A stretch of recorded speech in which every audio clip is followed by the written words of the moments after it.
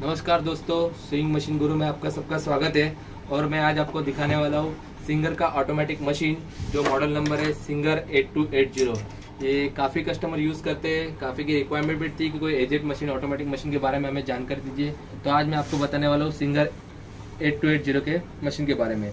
कि इसमें क्या क्या फैसिलिटी और क्या क्या इसमें हो सकता है तो आप देख ही सकते हो। आपके स्क्रीन के ऊपर मॉडल रखा गया है सिंगर 8280 यहाँ पे देखिए मॉडल नंबर लिया दिया गया है। जैसे कि आप ऑनलाइन सर्च करते हो तो आपको ये मॉडल नंबर मिल जाता है। काफ़ी अच्छी मशीन है इसमें। इसमें आपके सारे वर्क हो जाते हैं जो होम यूज़ पर्पज़ के लिए जितनी सारी मशीनें आप घर में यूज़ करते हो, उसमें ये बेटर है। जिसमें आपको टीच फॉल करना हो तो टीच फॉल भी हो सकता है। गाज करना हो तो गाज भी हो सकता है। बटन अगर लगाना हो तो बटन भी आप लगा सकते हो। इसमें आपको अगर पाइपिंग करनी तो पाइपिंग भी सारे फ़ंक्शन इसमें दिए गए तो मैं आज आपको इसको इस डेमो के बारे में बेसिक जानकारी और एक नॉर्मल डेमो आपको करके बताने वाला हूँ। तो आइए सबसे पहले मशीन के मॉडल के ऊपर जाते हैं और आपको सारी चीज़ें मैं समझाता हूँ। सबसे पहले आप देख सकते हो, यहाँ पे ब्रांडिंग किए गए सिंगर की एक थ्रेड टेंशन का बटन दिया जिसपे नंबर लिखे हुए हैं। ये देखिए, जैसे कि यहाँ पे देखिए ये नंबर, ये थ्रेड टेंशन का बटन है, जिसे हमें हमेशा मेंटेन करना पड़ता है। स्टिच कभी लूज टाइट आती है, उसके लिए।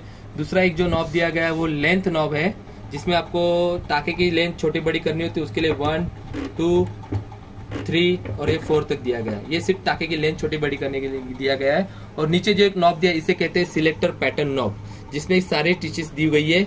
दो नॉर्मल स्टिच है एक जिगजैग है बाकी सारी पैटर्न है जो आप एम्ब्रॉयडरी वर्क के लिए यूज़ कर सकते हो और एक रे, रेड पोर्शन में फोर्थ स्टेप या थर्ड स्टेप दिए गए हैं। जिसे कहते हैं बटन होल मतलब ये सारी सिस्टम इसमें दी गई है। तो मैं आपको लाइव इस पर डेमो देने वाला हूँ जिसमें हम आपको सारी चीज़ें करके बताने वाले हैं। तो आइए सबसे पहले बेसिक जानकारी देते हूँ और ये इसमें क्या क्या एसेसरीज आती है मैं आपको बता दूँ सबसे पहले। तो सबसे पहले एसेसरीज में आप देख सकते हो कि मशीन के मॉडल में एक रेगुलर फुट लगा हुआ है। तो इसे रेगुलर फुट है, जिसपे आप सारे स्टिचेस कर सकते हो। सेकंड फुट जो है, वो ये आएगा, ये बटन होल्डर फुट है कि आप गाज कैसे बनाते हो, उसके लिए ये यूज़ होता है। जो थर्ड फुट आएगा, जो थर्ड फुट का नाम है पीको फुट साड़ी और दुपट्टे में जो स्टिच करते हैं, वो स्टिच करने के लिए हमें ये फुट यूज़ करना है। तीसरा जो फुट आता है, वो आता है आपका पाइपिंग करने के लिए। अगर आपको जिप फिक्सिंग करनी है या पाइपिंग करनी है तो भी आप इसे यूज़ कर सकते हो। टू इन वन फुट है राइट टू लेफ़्ट दोनों साइड यूज़ कर सकते हो। काफ़ी कंपनी के मशीन में अगर फुट देते हो तो सिंगल फुट देते हैं। सिंगल एक ऐसा मशीन है जिसमें आपको ये टू इन वन फुट मिला जाता है। चार नंबर का जो फूट आता है वो बटन स्टिच करने के लिए। बटन स्टिच करने के लिए ये फूट भी यूज़ किया जाता है। उसके लिए एक अलग से एक प्लेट आती है जिसे डार्निंग प्लेट कहा जाता है। तो ये दो चीज़ें आपको बटन के लिए यूज़ करनी पड़ती है। ये मैं आपको डेमो में करके बता, बताऊँगा कि बटन स्टिच कैसे किया जाता है। और एक आता है स्टिच ओपनर जैसे कि आपको काज बनाने का कट करना है तो कट करने के लिए स्टिच ओपनर का भी यूज़ होता है या स्टिचेस निकालने के लिए भी आप यूज़ करते हैं इसे कहा जाता है स्टिच ओपनर। तो अभी ये है फ़ूड कंट्रोलर। आपको फ़ूड कंट्रोल दिखाई दे रहा होगा यहाँ पे। इसे फ़ूड कंट्रोल कहा जाता है, जिससे मशीन आपकी ऑपरेट होती है और यहाँ पे कॉर्ड अटैच करना पड़ता है। ये देखिए, ये कॉर्ड अटैच करने के लिए यहाँ पे दिया गया है पावर से के लिए। तो हम आते हैं अभी, जैसे कि हम मैंने आपको बताया कि आपको डेमो तो हम स्टार्ट करते हैं अपना ये एट टू एट ज़ीरो का डेमो तो सबसे पहले हम कॉर्ड के बारे में बता रहा हूँ। एक थ्री पिन वाला कॉर्ड दिया गया है, जो आपको यहाँ पे अटैच करना है। अगर आप मशीन ऑनलाइन परचेस करते हो, कोई डेमो वाला नहीं आता है तो हम हमारे चैनल पे जाके इसका डेमो देख सकते हो। प्रॉपर आपको डेमो देखने मिल जाएगा। तो ये सबसे पहले ये मैंने आप कॉर्ड इसके अंदर प्रेस करना है। ज़्यादा फोर्स से नहीं करना है नॉर्मली अटैच करना है। ये हो गया अटैच यहाँ पे एक स्विच दी है, जैसे ऑन ऑफ़ ऑफ़ मशीन कर सकते हो। और दूसरा जो कॉर्ड आता है, वो हमारे इलेक्ट्रिक स्विच बोर्ड में जाता है, जो हमें वहाँ पे अटैच करना पड़ता है। तो आइए हम आपको बताते हैं। करने से यहाँ से स्विच ऑन करना है। और एक तो अच्छी बात यह है कि इस मशीन में, सारी मशीन में एक एलईडी लाइट दी गई है। कभी आप थ्रेडिंग करते हो या कपड़ा चलाते हो यहाँ पे एक देखिए, यहाँ पे एक लाइट दिया गया। देखिए, ये एलईडी लाइट है, जिससे आपका पूरा फोकस मशीन के स्टिचेस पे होता है। थ्रेड डालने के लिए या निकालने के लिए आपको इजी होता है। ऊपर की कोई लाइट की ज़रूरत नहीं है। तो आइए हम लोग आपको सबसे पहले आपको बताएँगे कि थ्रेडिंग कैसे करनी है और मशीन कैसे चालू करना है। तो आइए बताता हूँ आपको थ्रेड तो देखिए थ्रेडिंग के लिए सबसे पहले आपको थ्रेड यहाँ पे रखना है। ये थ्रेड रखने के बाद मशीन के एसेसरीज के साथ आपको एक कैप आती है। तो इस कैप को इसके अंदर डालना ज़रूरी है, नहीं तो आप जब भी स्टिचेस करोगे तो थ्रेड की कोड़ी अपने आप आगे आ जाएगी। तो इसके लिए इसे अटैच करना है। ये अटैच कर दिया तो अभी इसमें हमको यूज़ करना है बॉबिन तब आते हैं शटल पे। तो नीचे का शटल का पोर्शन है, सबसे पहले ये देखिए, इसे कहते हैं एक्सटेशन बॉक्स जो एसेसरीज बॉक्स के लिए दिया गया है। इसे हमें लेफ़्ट साइड खींचना है तो इसे इस साइड खींचो इजीली निकल जाएगा।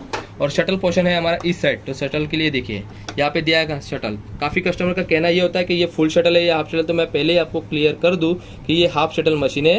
इसे फुल शटल जैसा ही काम करती है मतलब सारे स्टिचेस होती है इसमें। तो ये देखिए, ये निकालने के लिए ये क्लिप खींचना है तो ये बॉबिन केस निकल जाएगी। निकल गई और इसके अंदर आती है ये प्लास्टिक बॉबिन। तो खास इसमें एक चीज़ बता रहा हूँ मैं आपको कि हर मशीन के साथ कंपनी आपको प्रोवाइड करती है थ्री प्लास्टिक की सिंगर बॉबिन। जो आपको यही यूज़ करना है। स्टील की आप कोई भी बॉबिन यूज़ नहीं कर सकते इस में, क्योंकि ये मशीन है एजेड ऑटोमेटिक मशीन है। इसमें स्टील की कोई बॉबिन यूज़ नहीं होगी। आपको प्लास्टिक की यूज़ करनी है, जो मशीन के साथ आती है, आप ऐसे तो मार्केट से परचेस कर सकते हो। तो हम आपको सबसे पहले बताएँगे कि ऑटोमेटिक बॉबिन वाइंडर कैसे यूज़ किया जाता है। तो हमें इस बॉबिन को भरना है तो सबसे पहले देखिए।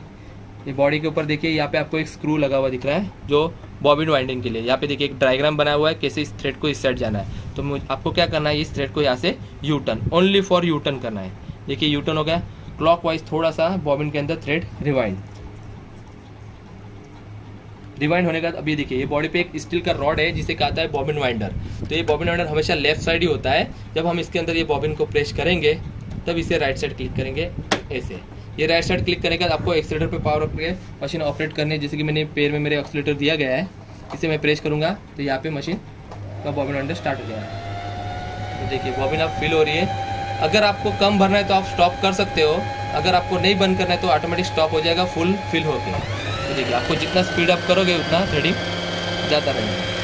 ये बॉबिन फिल हो रही है। Automatically thread up down up down होकर एकदम प्रॉपर भरी जाती है बॉबिन इसके बगल में एक वाइट कलर का दे दिया, इसे इसे स्टॉपर कहा जाता है, जिससे बॉबिन फिल बनने का ऑटोमेटिक स्टॉप हो जाएगी। ये देखिए, ये स्टॉप होकर एकदम धीरे धीरे स्टार्ट हो गया। इसे कहते हैं स्टॉप बॉबिन होगा ये हो गया। अब इसे कैसे निकलना जिसे आपने बॉबिन भरा वैसे इसे रिवर्स प्रोवेस करना है। ये हो गया। ये निकल गया। यहाँ पे एक कटर दिया है। काफ़ी कस्टमर को सीजर के यूज़ करने की ज़रूरत नहीं। इस थ्रेड को ऐसे के ये धागा कट जाता है। अभी बॉबिन में कैसे धागा डालना है? ये देखिए। ये है हमारी बॉबिन केस। इसके अंदर आपको इस बॉबिन को डाल दिया। यहाँ पे एक ग्रिप दिया है छोटा सा इस ग्रिप के बगल में से धागा को आपको टर्न करना है। टर्न करने का ये जो जो खाचे दिए इसके अंदर आना है। देखिए, ये होगा ये प्रोसेस आप कंप्लीट नहीं करते हो, तब तक धागा ऊपर नहीं आएगा और मशीन आपकी स्टार्ट नहीं होगी। अभी ये जो ऊपर की एक रॉड दिख रही है आपको, ये बॉबिन केस की तो अभी इसके अंदर कैसे अटैच करना है, ये दिखा रहा हूँ। तो देखिए बॉडी के ऊपर यहाँ पे भी एक खाचा दिया हुआ है। जहाँ पे देखिए मैं आपको दिखा रहा हूँ यहाँ पे तो इस रॉड को इसके अंदर क्लिक करना है। एक साउंड आएगा टक सर के तो आपको समझ जाना है कि बॉबिन फिट हो गई। ये फिट हो गया हमारा अभी आपको थ्रेड यहाँ पे ऐसे ही रखना है और ये बंद। उसके बाद एक्सटेशन बॉक्स को भी आप अटैच कर दो। ये हो गया हमारा बॉबिन प्रोसेस अभी आते हैं हम थ्रेडिंग पे। तो थ्रेडिंग के लिए आपको दिखा रहा हूँ, मैं आपको सबसे पहले ये बताया था कि ये बॉबिन वाइंडर के लिए यूज़ होता है और थ्रेडिंग के लिए आपको ये यूज़ करना है। तो देखिए, यहाँ पे लिखा है फ़र्स्ट तो ये हमें यहाँ से फ़र्स्ट आए उसके बाद आपको जो लिखा हुआ है सेकंड सेकंड का एरो नीचे आया है। उसके बाद लिखा है थ्री थ्री देखिए यू टर्न तो यहाँ से ये यू टर्न अब यहाँ पे फोर्थ नंबर का दिया गया है। तो यहाँ से भी यू टर्न है। पर आपको कन्फ्यूज़ हो जाएगा कि यू टर्न किसमें से करना है। तो यह सबसे पहले इस व्हील को देखिए, इस साइड ये व्हील दिख रहा है आपको। इस व्हील को आपको अपनी साइड घुमाना है। ओके तो देखिए, आप अभी इसे घुमाओगे तो इस साइड भी, इस साइड भी एक लीवर ऊपर आएगा। देखिए, इसे कहा जाता है टेकअप लीवर ये take up lever thread take up lever है। ये इतना ही लेवल में ऊपर आता है।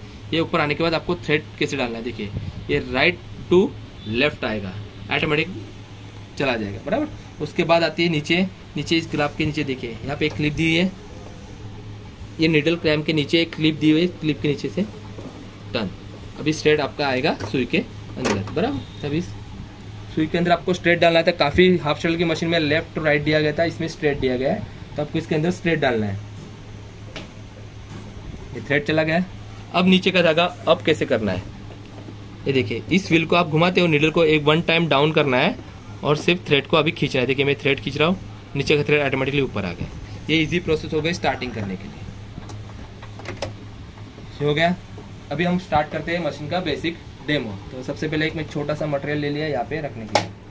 अब आते हैं हम सिलेक्टर नॉक पे. तो सबसे पहले आपको देखना है सिलेक्टर में आपको कौन सी डिज़ाइन यूज़ करनी है. हम फ़िलहाल तो स्टार्टिंग स्ट्रेट सिलाई करेंगे तो ये स्ट्रेट सिलाई है. कोई भी स्टिचेस करनी हो तो आपको ये ब्लू पॉइंट दिया गया है, इस ब्लू पॉइंट पे उसको सिलेक्ट करना है. तो हमने इसे स्ट्रेट सिलाई को सिलेक्ट कर लिया. उसके ऊपर आते हैं हम लेंथ के ऊपर. तो यहाँ पे मैंने जैसे कि कहा था कि सिलाई की लेंथ छोटी बड़ी करने के लिए यूज़ होता है वन टू फोर तक। तो फ़र्स्ट सेकंड थर्ड छोटा चाहिए तो वन पे, उससे बड़ा टू उससे बड़ा थ्री उससे बड़ा फोर तो हम स्टार्टिंग वन से स्टार्ट करते हैं। और जब भी आप सिलाई स्टार्ट करते हो, सबसे पहले टेंशन आपको मेंशन करना है कि फोर पे ही होना चाहिए। बाद में हम स्टिचेस लूज कैसे आती है और टाइट कैसे करना है, मैं लास्ट में बताऊँगा। तो सबसे पहले आप स्टार्ट करना है फ़र्स्ट से। ये है हमारा रिवर्स फॉरवर्ड बटन जो इससे कपड़ा आगे पीछे होता है, जिससे हमारी स्टिच वहीं पे लॉक होती है, वो स्टार्टिंग एंड एंडिंग में यूज़ करना पड़ता है। तो जब भी आप स्टार्ट करते हो तो हमेशा नीडल को हाथ से एक बार घुमा के नीडल को अप डाउन करना है, जैसे कि आपकी मशीन धागा लॉक कर देगी। तो ये हो गया। तो अभी देखिए स्टार्ट सिलाई हो रही है छोटी टाइप आप इस पर देख सकते देखिए कितनी छोटी सिलाई है है ना? तो ये वन पे हमने यूज़ किया, अभी हमारी बारी आती है टू पे तो हम इसे टू पे रखते हैं। तो टू पे थोड़ा स्टिच बड़ी हो जाएगी। स्टिच लाइन बड़ी हो जाएगी। ये टू पे, देखिए टू पे उससे बड़ी हो गई।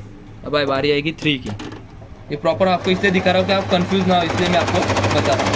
ये थ्री देखिए थ्री वाली उससे बड़ी होगी। और लास्ट आती है फोर फोर इसलिए यूज़ किया जाता है, कभी आपको कच्ची सिलाई मारनी और बाद में निकालने तो फोर यूज़ करना है इसके लिए फोर आपको प्रॉपर अभी दिखाऊँगा, ये देखिए। फोर ये फोर नंबर की स्टिचेस है, ये थ्री नंबर की है ये टू नंबर और वन सबसे छोटी। मतलब ये है आपकी स्टिच लेंथ चार टाइप की स्टिच लेंथ आती है। जैसे कि मैंने आपको बताया था कि ये आपको रिवर्स फॉरवर्ड का बटन है। तो ये कब यूज़ करना है? जैसे कि मैंने थ्री पे रख के इससे स्टार्ट किया। देखिए, इसे प्रेस करते हो। तो देखिए, कपड़ा फिर से आगे आगे, पीछे, ये लॉक हो गया। ये स्टार्टिंग और थोड़ा सा फिर एंड आ जाए तो उसके बाद भी आप इसे प्रेस करोगे।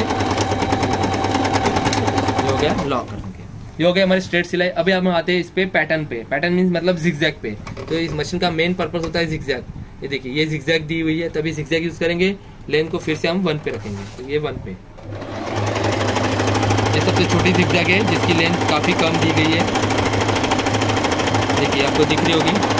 एक, अगर मैं इसे स्टॉप करके वापस इसे टू पे रखता हूँ तो ये लेंथ और बड़ी हो जाएगी। जैसे हमने सादी सिलाई में यूज़ किया था, वही सेम आपको इसमें यूज़ करना है। और बढ़ा दूँ तो इसके तीन पे, ये तीन पे और बड़ी हो जाएगी, और फोर पे उससे बढ़ा ये देखिए, इसकी स्टिच लेंथ देखिए।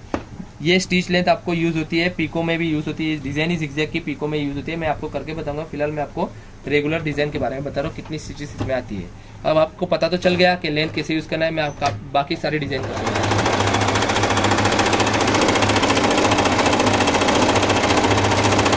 ये थ्री डिज़ाइन है वन टाइम जिगजैग में तीन बार स्टिच करता है। उसके बाद आती है दूसरी इको टाइप की डिज़ाइन आपको पीछे से दिख ही रही होगी इको काफ़ी फिनिशिंग के साथ डिज़ाइन आती है इसकी। आप किसी भी प्लेन कुर्ती पे वर्क पे डिज़ाइन कर सकते हो, कुर्ता हो या कुछ भी हो। काफ़ी कस्टमर कुशन पे भी करते हैं अलग अलग थ्रेड से कॉन्ट्रास्ट थ्रेड लेके। उसके बाद ये आती है।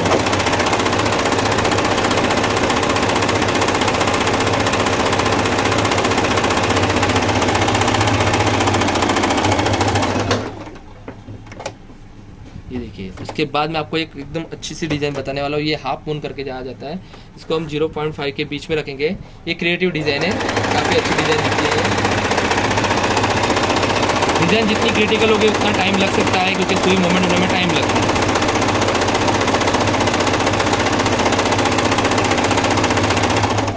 ये डिज़ाइन देखिए। पूरे एम्ब्रॉयडरी टाइप के स्टिचेस है। ये काफ़ी अच्छी डिज़ाइन है। आप किसी भी वर्क में कर सकते हो। तो ये हो गया हमारा जितनी स्टिचेस दी गई है हमने उतनी स्टिचेस का यूज़ किया है।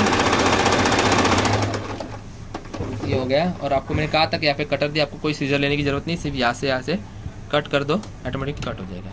तो ये हमारी नॉर्मल डिज़ाइन मैंने नॉर्मल डिज़ाइन बताई। अब बारी हम आपको बताएँगे दूसरे अटैचमेंट की, कि दूसरा अटैचमेंट कैसे इसमें लगते हैं और कैसे इसे निकालना है। तो सबसे पहले मैं आपको दिखा रहा हूँ ये अटैचमेंट के बारे में।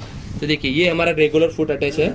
इसे हम रेगुलर शादी सिलाई और डिज़ाइन यूज़ करना है। अभी इसे निकालना कैसे? तो निकालने के लिए सबसे पहले मैं आपको बता दूँ यहाँ पे एक क्लिप दी है पीछे की साइड तो देखिए, ये अटैचमेंट है। इसे निकालना तो ये यहाँ पे एक स्नेपॉन दिया हुआ है। इस स्नेपॉन को अपने साइड थोड़ा हल्का सा क्लिक कर दो फुट ऑटोमेटिकली नीचे गिर जाएगा।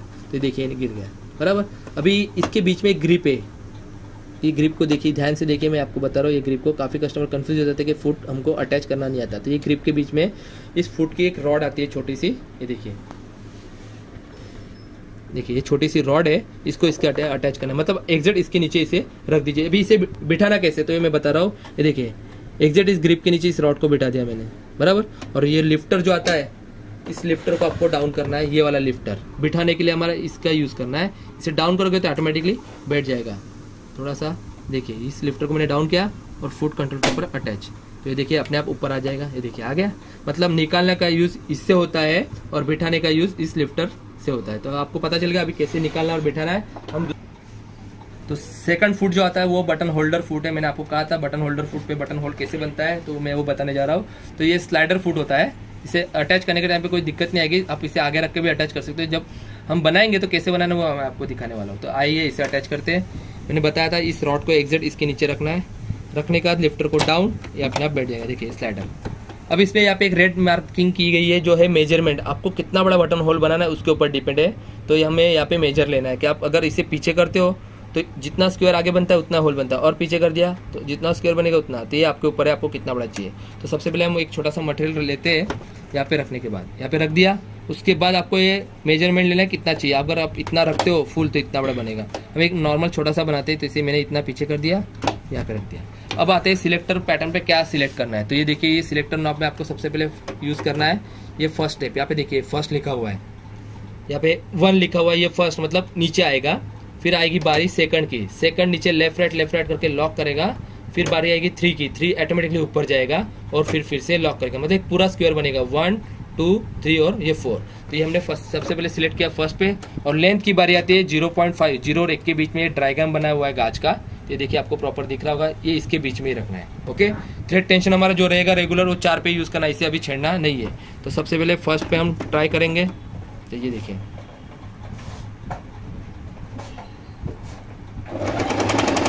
देखिए स्लाइडर ऑटोमेटिकली पीछे जा रहा है यहाँ तक आ जाए डेड एंड में तो आपको स्टॉप कर देना है। ये हो गया फ़र्स्ट अब बारी आएगी सेकंड की।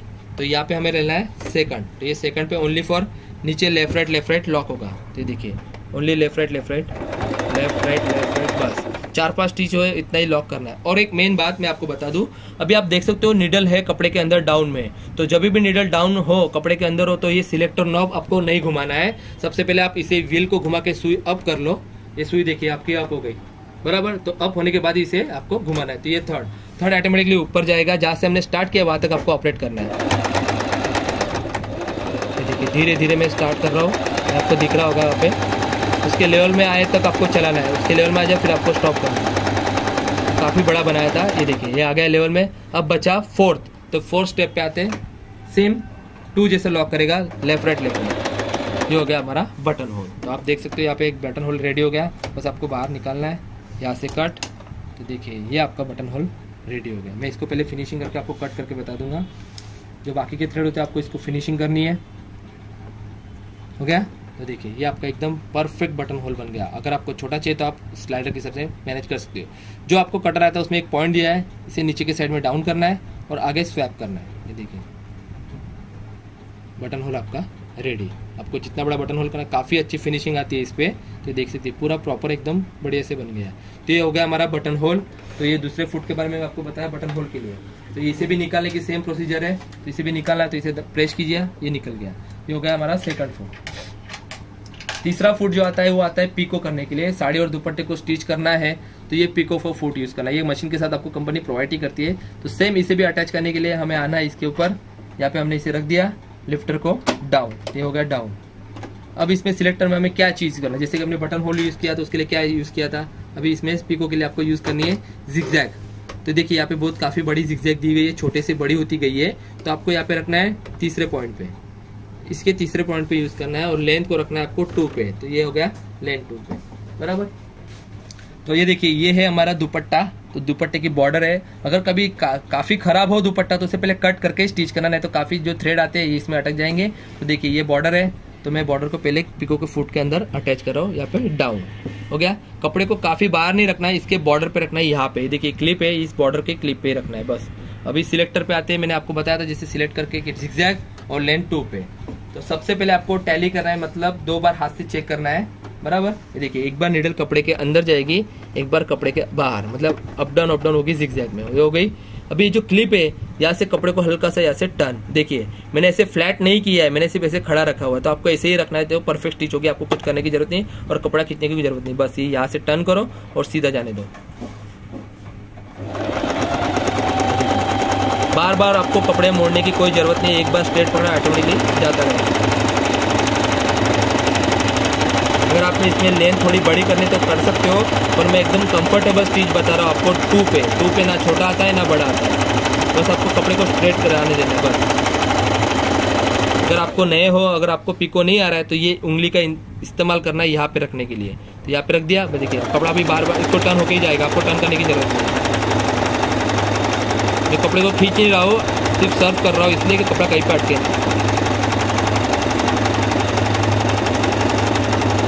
ये हो गया हमारा पीको। आप देख सकते हो पीको कैसे हुआ है, ये देखिए। फुल फिनिशिंग में पीको आया हुआ है, ना छोटा है, ना बड़ा है देखिए।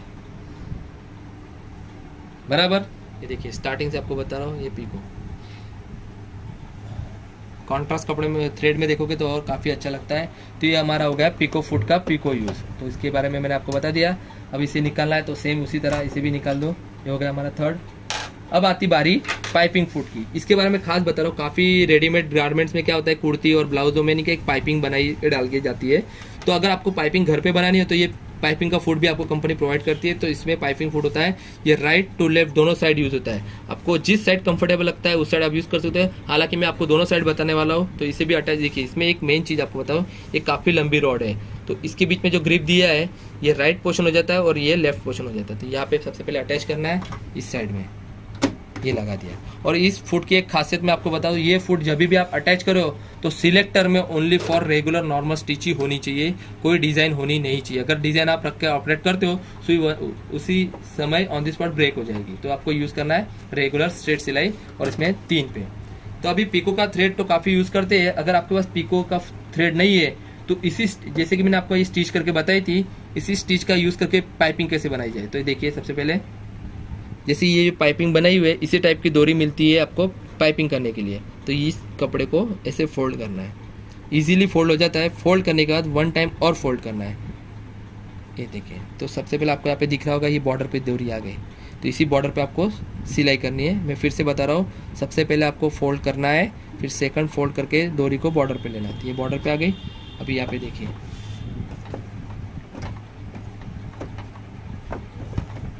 देखिए इस डोरी को हमें इसे बॉर्डर पर रखना है। तो आप यहाँ पे देख सकते हो एकदम पास से। कि देखिए इस ब्लॉक में देखिए डोरी का शेप आ गया यहाँ पे गोल शेप हो गया है देखिए। तो इसके बॉर्डर पे हम स्टिच करेंगे।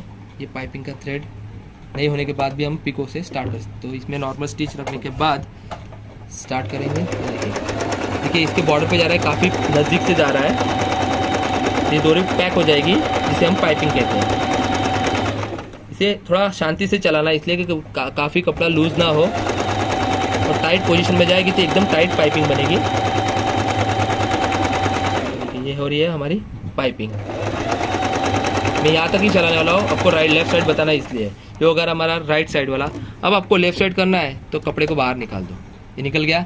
इस फुट को भी निकालना है, निकाल दिया। हमने तो राइट में लगाया था, अभी यूज़ करना है आपको लेफ़्ट में तो इस साइड लेफ़्ट साइड इसमें अभी क्या होगा, कपड़े का डायरेक्शन चेंज हो जाएगा। मैं सबसे पहले आपको एक बार रिमाइंड बता दूँ। कि मैंने चलाया कैसे थे? मैंने चलाया था ऐसे राइट साइड में, बराबर? अभी कपड़े का डायरेक्शन हो जाएगा इस साइड मतलब ये हो गया बाहर की साइड इसे कहते हैं लेफ़्ट साइड पाइपिंग तो सेम पोजीशन में रहेगी सेम सिलाई रहेगी, पकड़ना भी सेम रहेगा, बस होगा इतना कि ये लेफ़्ट साइड चलेगा देखिए। उसी सिलाई पे बार, फिर से सिलाई होगी, पर ये लेफ़्ट टू राइट वाला पोर्शन है।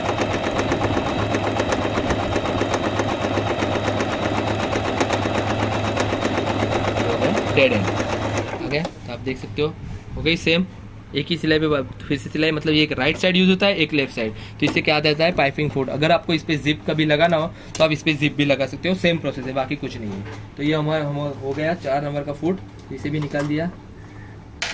अब आएँगे लास्ट फुट पे. तो लास्ट फुट पे हमारा है बटन स्टिच जैसे जैसे कि हमने गाज बनाया तो अभी आती है बारी बटन लगाने की तो सबसे पहले इस प्लेट का नाम मैंने आपको बताया था, इसे कहते हैं डार्निंग फ्लूट जब भी आपको बटन लगाना हो तो ये अगर ना हो तो बटन आपका नहीं लग पाएगा, अगर लग भी जाएगा तो ऑन द स्पॉट टूट जाएगा। तो सबसे पहले ये डार्निंग प्लेट अटैच करनी है। तो सबसे पहले बॉडी पे देखिए, यहाँ पे ये निडल प्लेट है, जिसके ऊपर एक, यहाँ पे एक होल दिया गया है, यहाँ पे एक होल दिया गया है। ये अब ये देखिए, यहाँ पे दो पॉइंट दिया गया है। इस प्लेट को सिर्फ़ इस होल के अंदर प्रेस करना है। तो हम ऐसे यहाँ पे ले और ये प्रेस हो गया, ये प्लेट लग गए। उसके बाद बारी आती है इस फुट की इसे कहते हैं बटन फुट। तो इसे हमें यहाँ पे जो स्क्रू दिया है इसे लगा के निकालना होगा। बराबर? तो, तो देखिए यहाँ पे स्क्रू दिया हुआ है तो हमें पहले इसे लूज करना एक छोटा सा स्क्रू ड्राइवर लेके इसे निकाल देना है ये सॉकेट निकाल देना है। ये देखिए ये निकल गया इसे आप किया ये बाहर। अभी इसकी बारी देखिए ये जो यू शेप दिया हुआ है ये स्क्रू का पोर्शन उसके नीचे जाएगा। इसे अंदर से लेते हैं ये लग गया। देखिए इजीली लग जाता है। अभी तो अच्छी एडवांस है तो इसलिए तो आपको दूसरा भी आ सकता है, जिसे नॉर्मल लगाते वैसे ही मिल मिल जाएगा। तो पहले था, इसलिए अभी ऐसा आता था। तो अभी ये लग गया, उसके बाद आपको नीचे का थ्रेड पहले अप करना है। क्या तो हम आप आएँगे बटन के ऊपर। तो सबसे पहले सिलेक्टर में आपको बता दूँ कि बटन अगर आपको लगाना है तो क्या क्या सिलेक्ट करना पड़ता है, वो बता दो। यहाँ पे आप देख सकते हैं दो रेगुलर सिलाई गई है तो इसमें जो फ़र्स्ट है, वो सेंटर में चलती है और सेकंड है, वो राइट में चलती है। आपको यहाँ पे डायग्राम में दिख रखा देखिए कितने बॉर्डर पे मतलब ये राइट साइड में। तो हम इसे सिलेक्ट कर लेते हैं। इसे सिलेक्ट करने का रीज़न है कि निडल की पोजीशन जो आएगी, वो लेफ़्ट साइड पे आ गई है। आप देख सकते हैं, देखिए, काफ़ी लेफ़्ट साइड पे बराबर? और ये जो आएगी पोजिशन इसका आएगा लेंथ ज़ीरो पे। तो सिलेक्टर में आपको रेगुलर सेकंड नंबर की सिलाई और लेंथ में रखना है आपको ज़ीरो पे। तो ये ज़ीरो पे रख लिया। तो आइए अभी बटन की बारी। देखिए, सबसे पहले यहाँ पे मैंने बटन रख दिया। बटन पे दिए हुए चार होल। सबसे पहले जो ऊपर के दो स्टिच होंगे, फिर नीचे के दो स्टिच होंगे। तो नीडल की पोजीशन अगर राइट में है तो सबसे पहले राइट वाले होल में सुई आपको डाउन करनी है। तो इसे अप किया बटन को अंदर। तो देखिए, बटन को थोड़ा सा अंदर ले लिया। राइट वाले होल के ऊपर एग्जैक्ट सुई नीडल है, इसे हमने डाउन कर दिया। देखिए, ये चली गई। अब इसके बाद क्या करना है आपको? ये लिफ्टर को बिठा देना है, जिससे बटन आपका नहीं हिलेगा ओके अभी हमें जाना है लेफ़्ट पे। तो हम आते हैं सिलेक्टर पे। तो सिलेक्टर पे देखिए, सबसे पहले हमने डाली थी निडल राइट साइड में। अभी हमें जाना है लेफ़्ट होल पे। तो अब ये डिज़ाइन दिख रही है आपको? सुई को अप करना है पहले। ये देखिए, सुई की पोजिशन पे आना है। सुई को पहले अप कर देना है। अप करना है, अभी हमें लेफ़्ट पे जाना है। तो यहाँ पे देखिए, ये डिज़ाइन दी गई है। ये डिज़ाइन आपको जिस इस साइड घुमाओगे तो needle automatically left right side पे आ जाए लेफ़्ट साइड पे आ जाएगी। तो देखिए अब जितना घुमाते हो नीडल देखिए एडजस्ट होगी। हो गई? अभी हम आते हैं निडल वाले निडल पे। तो देखिए अब जैसे घुमाओगे तो ये जिगजैग में कन्वर्ट होने के बाद आ गया लेफ़्ट पे। मतलब ये लेफ़्ट और राइट ये दो बार हाथ से इसलिए चेक करना है कि आपका बटन टूटे ना। अभी चेक होने के बाद हम एक्सीटर स्टार्ट करेंगे। तो देखिए लेफ़्ट राइट लेफ़्ट राइट करके बटन लगता है अब सेम प्रोसेस करना है नीचे। तो इसे उठाओ, हल्का सा कपड़े को पीछे कीजिए। ये हो गया।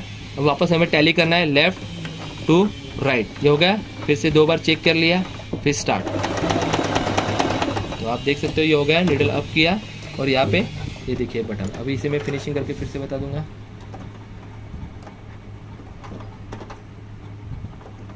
ये देखिए, ये हो गया आपका बटन स्टिच। काफ़ी पक्के से लग गया है, पीछे नीचे की साइड भी लॉक हो गया तो ये थे हमारे सारे फ़ंक्शन तो मैंने सबसे पहले आपको बताया रेगुलर का फूट में क्या क्या होता है। तो रेगुलर के बारे में बताई कि सारी रेगुलर स्टिचेस बताई।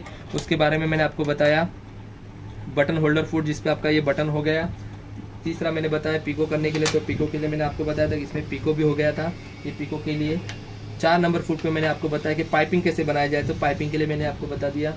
उसके बाद बारी आती है बटन होल की तो यहाँ पे बटन होल का फुट अटैच किया गया है, और ये प्लेट लगी हुई है। तो ये है Singer eight two eight zero का बेसिक मॉडल, जिसमें आपको सारे फ़ंक्शन और किट का मैंने यूज़ बता दिया। इसी मशीन में आपका पिको भी हो जाता है, बटन भी हो जाता है, पाइपिंग भी हो जाती है, सारी चीज़ें इसमें हो रही है। तो ये है सिंगर का eight two eight zero model, जिसमें मैंने आपको बेसिक जानकारी और उसके डेमो के बारे में बताया था। अगर आपकी कोई क्वेरी हो और इसके संबंधित कोई जानकारी आपको चाहिए या मशीन परचेस करना है तो आप सबके सब्सक्राइबर में कमेंट कर सकते हो। अगर ये वीडियो आपको अच्छा लगा तो लाइक शेयर और सब्सक्राइब कर वीडियो के नीचे नंबर लिखा हुआ है, आप इस पर भी इंक्वायरी कर सकते हो। और ये वीडियो आपको अच्छा लगा तो लाइक शेयर सब्सक्राइब करना ना भूले। हम नए वीडियो में आपको लिए कुछ नया लेके आएँगे। Thank you very much